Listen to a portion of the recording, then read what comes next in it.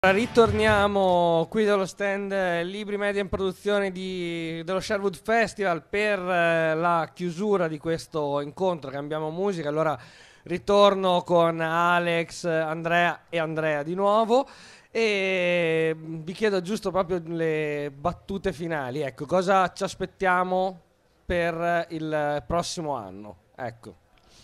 Sì, beh, sicuramente intanto volevo dire che ringraziare anche Andrea e Andrea per questo dibattito, per questo, questo, incontro, perché è stato veramente interessante. E come diceva Toto, il futuro è ancora un po' incerto. Sicuramente essere qui, come dicevo prima, allo Sherwood Festival eh, a parlare di questo è un buon punto di inizio, perché ieri sembrava veramente essere tornati indietro nel tempo a vedere lo Sherwood Festival con tanta gente che vive questo spazio e sicuramente appunto è stata una, una bella emozione. Il futuro eh, rimane un po' incerto, noi speriamo che piano piano tutto possa eh, riniziare come prima, che si possano evitare questi distanziamenti a cui siamo ancora eh, costretti.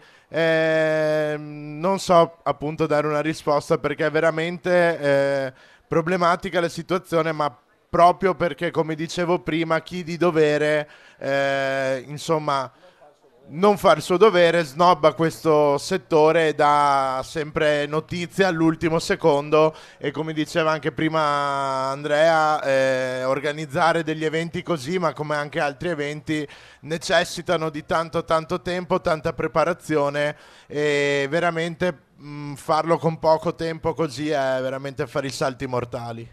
Ok, allora, eh, festa di Radio Onda d'Urto quest'anno si fa da che, da che giorno a che giorno? Dal 5 Quest- al 28 agosto. Quest'anno un mese fate praticamente. Sì, perché chiudiamo prima, facciamo una formula un po' diversa come dicevo okay, prima. Esatto, allora andate a vedere anche sul sito di Radio Onda d'Urto perché io sono andato a leggere una bella, una bella edizione. E invece Alta Felicità quest'anno... Weekend sarà? ad Alta Felicità 30-31 luglio e eh, 1 agosto, venerdì, sabato e domenica. Chiudo con un solo una, una battuta, veramente. Qualcuno diceva no? e ci piace ricordarlo, la libertà di partecipazione. Eh, quando finirà questa mh, situazione di pandemia, eccetera, ci ricorderemo di tantissime cose. Sono convinto che al di là della questione dello spettacolo, ma in generale nostra, delle nostre vite, eh, ci, ci, ricorderemo questo momento come una cesura nella storia. C'è una, una, una questione che dobbiamo rimettere al centro diceva Alex prima della sensazione, anzi nel backstage, prima de, de, di questo dibattito, parlavamo, ci scambiavamo delle opinioni di come era bello vivere un primo giorno con tante persone, ripartire, eccetera. Ecco, perché? Perché la vera felicità è quella condivisa, lo sappiamo, e quindi eh, di fatto noi non riusciamo a pensare a un futuro che non sia fatto anche di relazioni umane di prossimità, di, di, di scambio di emozioni dentro, fuori, sopra, sotto un palco, non importa, però questo per noi è il futuro. Allora dobbiamo lottare ogni giorno per non farcelo togliere, anche in situazioni difficili come quelle delle pandemie.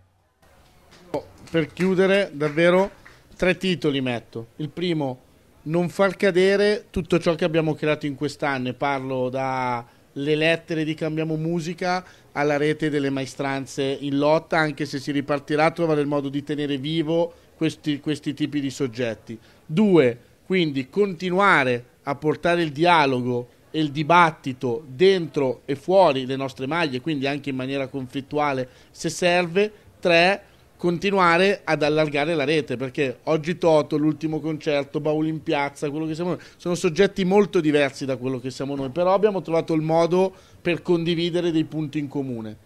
I movimenti sono spesso stati capaci di diventare egemoni e portare i loro contenuti fuori e anche a questi, a questi soggetti.